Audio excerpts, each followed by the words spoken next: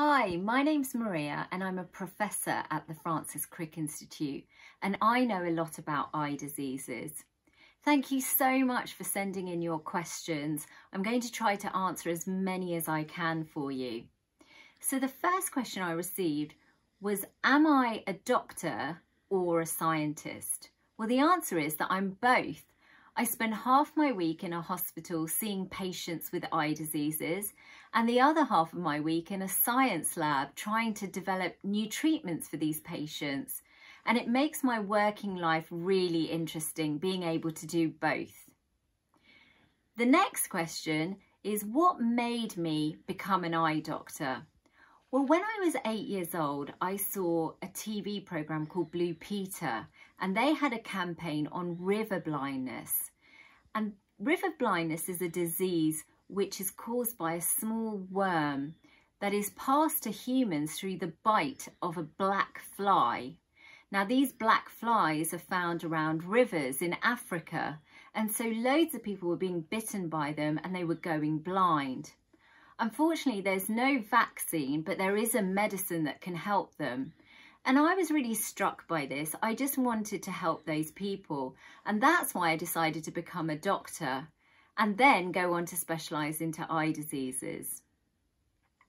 So my next question is, can you get coronavirus in your eye? And that's from uh, Innes. Well, the answer is yes, you can. So through the pandemic, we've had a few reports of patients who've had coronavirus that have also developed a red eye. That's called conjunctivitis. And although it doesn't cause any lasting damage to the eyes, when someone has a red eye, it's really contagious. So it's really important that we keep our social distancing and wash our hands. The next question is, do other viruses affect the eyes? The answer is yes. There are a lot of viruses that can infect our eyes and cause blindness.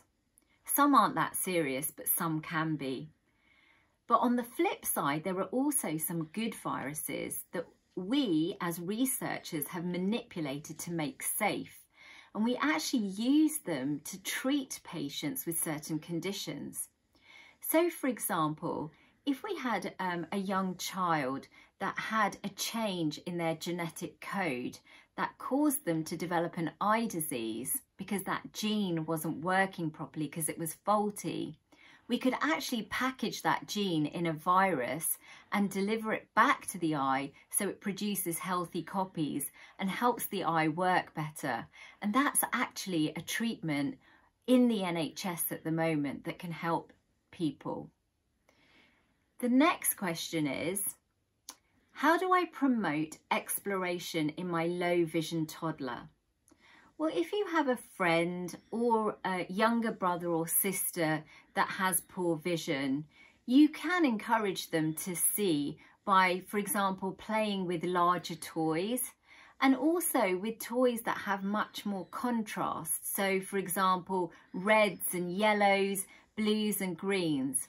It's probably best to avoid pastel colours because Children with low vision often won't be able to discriminate a pale yellow and a pale pink. And the other thing is that some children really struggle in the dark or low lighting. And so it's really important that we have really good bright lighting for them to play on.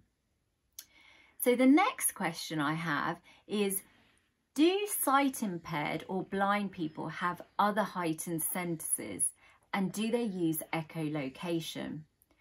Well, when I did my introduction last week, I mentioned that if you begin to lose your vision, then the area at the back of your brain called the visual cortex can be taken over by your other senses, such as hearing and touch. And so the answer is yes, more of your brain is working towards those other senses and they are more heightened. When it comes to echolocation, well, that's something that we can actually learn. So those with sight impairment and those without can learn it.